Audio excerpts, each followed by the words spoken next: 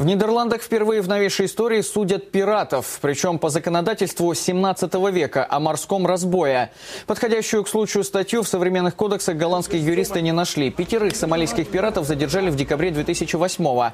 Они пытались захватить голландское грузовое судно в Аденском заливе. Но их атака была отбита, а катер потоплен подоспевшим на помощь датским военным кораблем. Датчане задержали морских разбойников, а затем экстрадировали в Нидерланды. Вчера сторона защиты заявила, что обвиняемые не пираты, а бедные рыбаки рыбаки. Никакого оружия на их катере не было.